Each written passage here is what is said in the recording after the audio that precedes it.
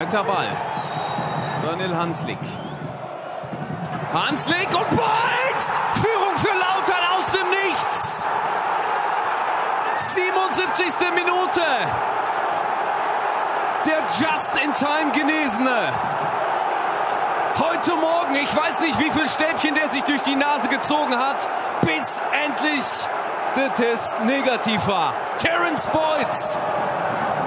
Keine gute zweite Halbzeit des FCK bis hierhin.